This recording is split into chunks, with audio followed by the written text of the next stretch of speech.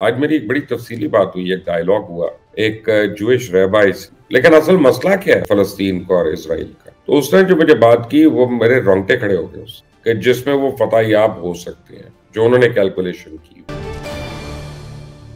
असलम आप देख रहे हैं मुबशर लकमान यूट्यूब चैनल मेरा नाम मुबशर लकमान है और आज मेरी एक बड़ी तफसीली बात हुई, एक डायलॉग हुआ, एक जूश रेबाई से। आपको पता है, जिस तरह हमारे आलिम होते हैं, उलमा होते हैं, या मौलवी होते हैं मस्जिद के चर्च में पादरी होते हैं मंदिर में पंडित होते हैं, ये सारे होते हैं।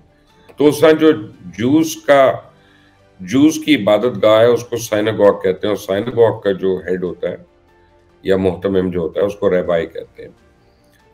तो मेरी मेरा किसी से रबता हुआ, किसी के थ्रू उनसे, अमेरिका में तो मैंने उनसे पूछा, मैंने कहा, भाई, रबाई साहब, वो सब सबको छोड़ दें, आप, हमें पता है, हम, आप बाकी मजाहब को क्या समझते हैं, क्योंकि आप लोग समझते हैं कि आप लोग चोजन वन है और आप लोग पहले और आपका कॉपीराइट है इस पर लेकिन असल मसला क्या है?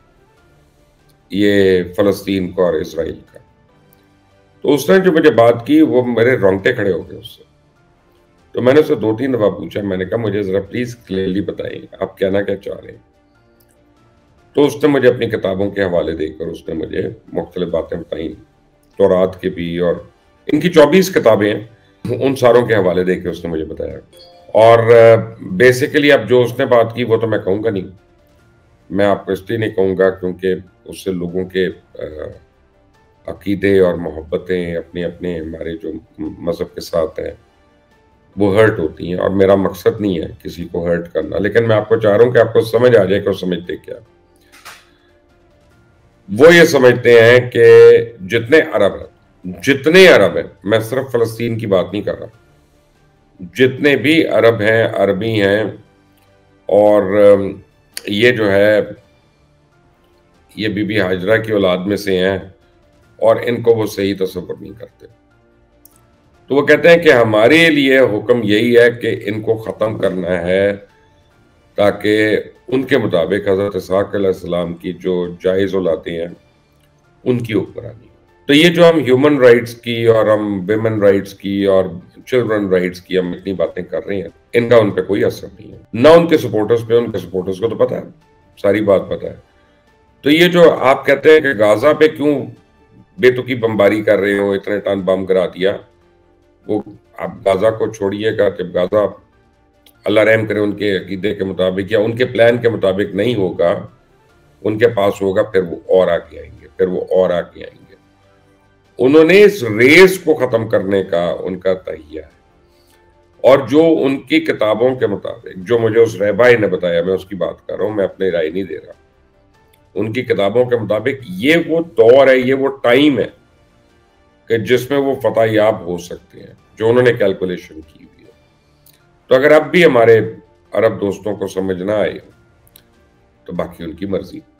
आप और मैं तो हम तो अजान दे सकते हैं ना। किसी का काम है, नमाज़ पढ़े, ना पढ़े। बहरहाल, ये इसराइल और फलस्तीन का तनाज़े को लेके कुछ अहम इंतहाई मालूम और खबरों के साथ मैं आपको इस वीडियो में बताऊँगा कि अमेरिकन वज़ीर खारजा एंटनी ब्लिंकन आखिर अरब ममालिक के हंगामी दौरे कर क्या रहे हैं और इनके पीछे मकासद क्या है। अमेरिका ने ईरान और हिजबुल्ला को खुफिया पैगाम भेजा। तो अमेरिका ने इस पैगाम में हिजबुल्ला और ईरान से कहा है वो भी मैं आपको आज तफसील से बताऊँगा इसी वीडियो में। इस वीडियो को आखिर तक देखिएगा। अगर आपने अभी तक इस चैनल को सब्सक्राइब नहीं किया तो प्लीज़ कर लीजिएगा। बेल आइकॉन को प्रेस करें ताकि जितनी भी आने वाली वीडियोस हैं, वो आपको खड़क खड़क करके खुद मिलेंगी। बहरहाल, सबसे पहले अमेरिकन है वज़ीर खारजा, उनका दौरा है मशरक वस्ता ये क्यों हंगामी दौरे कर रहे हैं? इनके मकसद क्या? अब तक इतनी मदद करने के बावजूद, अरबों डॉलर लगाने के बावजूद, अपने जंगी बेड़े भेजने के बावजूद और इसराइल को हमास के खिलाफ कोई कामयाबी नहीं दिला सके। अमरीका और इसराइल समझता है कि उन्होंने गाजा को कंटर बनाने से शायद आलात और वाकत उनके हक में हो जाएँगे, लेकिन इस बार ऐसा नहीं हुआ। ये जंग अरब इसराइल जंगों से जरा सी मुख्तलिफ़ नज़र आ रही क्योंकि जैसे जैसे इसराइल की बमबारी में शिद्दत आ रही है, वैसे ही फलस्तीनी और लिबनानी तनजीमों के हमलों में भी शिद्दत आती जा रही है। इसराइल की जमीनी फौज तो बिल्कुल नाकाम नज़र आ रही है, क्योंकि फलस्तीन और लेबनन की तनजीमों के खिलाफ इसराइली कामयाबी के दावे महज दावे ही नज़र आ रहे हैं, और अब तक इसराइल दावों का कुछ सबूत नहीं पेश कर सका। अब फलस्तीन के अंदर अस्पताल और स्कूल और एंबुलेंस और घरों पे इसने अमरीका और इसराइल को दोनों को मुँह छुपाने के काबिल नहीं छोड़ा किसी के आगे। अब सबसे बड़ी बात यह है कि इनके हमायती ममालिक तो अब हमायत करते हुए हिचकिचाहट का शिकार है। इंसानी हकूक की तंजीमों ने अलग नाक पे दम किया हुआ दर हकीकत अमेरिकन वज़ीर खारजा सूरत हाल को कंट्रोल करने के लिए जिन अरब ममालिक का दौरा कर रहे हैं, उनके हाथ खाली है। फलस्तीन और लेबनान की अस्करी तंजीमें उन ममालिक के कंट्रोल में नहीं है। लेबनानी तंजीम हिजबुल्ला के उर्दन हुकूमत के साथ कोई खुशगवार ताल्लुक नहीं है। और ऐसा का मामला उर्दन और मिस्र के बारे में हमास का तो ये तंजीमें इस वक्त ईरान और रशिया का असर तो कबूल कर सकती हैं। रशिया और ईरान के साथ अमरीका के ताल्लुक को पूरी दुनिया जानती है, कि ताल्लुक दुनिया की सबसे गैर यकीनी और कशीदा ताल्लुक है। लिहाजा अमरीका के पास इस वक्त सफारती जराए बहुत कमज़ोर है, जिन्हें इस्तेमाल करके वो जल्द इसराइल को इस जंग से निजात दिलाए। दिफाई लिहाज से भी ऐसा नहीं लग रहा, क्योंकि रशिया और अमरीका शाम के अंदर भी टकरा चुके हैं, और ये जंग कई साल से जारी थी। तो फलस्तीन और इसराइल के आसपास हमसाया ममालिक जो हैं, वो पहले इस जंग को लेकर खौफजदा है कि कहीं रशिया और ईरान अगर अमरीका की अना के चक्कर में उनकी बली ना चढ़ जाए। और हमेशा ऐसा ही होता रहा ना कि बड़े ममालिक की लड़ाई में छोटे मोटे जो है, वो कुर्बानी का बकरा बन जाते हैं। तो यही वजह है कि गुजशत रोज अरब ममालिक और अमेरिकन वजी खारजा की मुश्तर प्रेस कॉन्फ्रेंस जो है, उसमें कोई इलामिया ही नहीं है इस वक्त अमरीका के पास सबसे बड़ा हथियार ये है कि अरब ममालिक को इस बात से डराया जाए कि ये जंग उन्हें अपनी लपेट में ले सकती है और अगर ये जंग अरब ममालिक अपनी लपेट में ले भी ले तो इसराइल और अमरीका का तो कोई नुकसान नहीं है। क्योंकि रशिया और ईरान को क्या लगे कि अरब ममालिक किसकी लपेट में आ रहे हैं। नहीं तो उल्टा उनको मजीद मुदाखलत का मौका मिलेगा। तो अमरीका नवाज़ अरब हुकूमतों के खिलाफ कार्रवाई का अमरीका ने ईरान और हिजबुल्ला को एक खुफिया पैगाम भेजा अमेरिकन मीडिया के मुताबिक ये लबनानी अस्करी तंजीम और ईरान को पैगाम भेजा कि अगर उन्होंने इसराइल के खिलाफ कोई कार्रवाई की या इसराइल पर किसी हमले का हिस्सा बने तो अमरीका, ईरान और हिजबुल्ला के खिलाफ जंग छिड़ देगा और शदीद किस्म की अस्करी कार्रवाई करेगा। चढ़िए आप देखें किस लेवल की है। तो बहरहाल ये कमो बेच पिछले पंद्रह साल से, इस तरह की लड़ाई तो जारी है और इस दौरान दोनों ममालिक इराक और अपनाए गुरमस के अंदर एक दूसरे के खिलाफ मुताद कार्रवाइयाँ कर चुके खुलकर एक दूसरे के सामने नहीं आए, क्योंकि दोनों अस्करी लिहाज से एक बड़ी कुत है, और दोनों को अच्छी तरह मालूम है कि दोनों के दरमियान अस्करी तसादम से किसी के हाथ कुछ नहीं आएगा स्वाई तबाही के। मेरा नहीं ख्याल कि अमरीका जो है, वो ईरान के खिलाफ या ईरान अमरीका के खिलाफ बर रास्त को कार्रवाई करेगा। दोनों ममालिक इसकी अहमियत को अच्छी तरह जानते हैं, समझते हैं। ईरान को फलस्तीन तो नहीं है कि अमेरिका फ़ौरन अपने बैरी बेड़े भेज देगा। ना अमेरिका, सऊदी अरब या इसराइल है कि ईरान तंजीमों को असला देकर और मदद करके अमेरिका के खिलाफ को बड़ी कार्रवाई कर सकेगा। ऐसे बयान जो होते हैं, वो पब्लिक कंजम्पशन के लिए होते हैं। बहरहाल, एक दो दिन पहले हमास के सरबराह ने ईरान के सुप्रीम लीडर आयतुल्ला खामनाई से मुलाकात की और आयतुल्ला खामनाई ने उनको हर किस्म की मदद का यकीन दिलाया। लिहाजा ईरान से यह तो रखना कि वो इन तंजीमों की मदद नहीं करेगा तो ये खाम ख्याली है। पिछले लंबे अरसे से अमरीका को डील कर रहा है। नफसियाती तौर पर भी ईरान को काबू करना नामुमकिन ही है।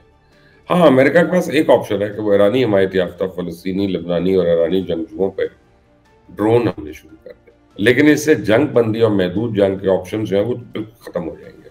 तो अमरीका को फौरी तौर पर एक पुरमन इसराइल की ज़रूरत है जो अरबों के साथ स्वार्थी ताल्लुक बना के मशरक वस्ती में मजीद अमरीका के मफादात को आगे बढ़ाएगा। अब ईरानी फोर्सेस ने अफगान तालिबान के साथ मिलकर अफ़गानिस्तान के अंदर एक मुश्तर ऑपरेशन किया, जिसमें इसराइली खुफिया एजेंसी मुसाद के तीन जासूस गिरफ़्तार करने का दावा है।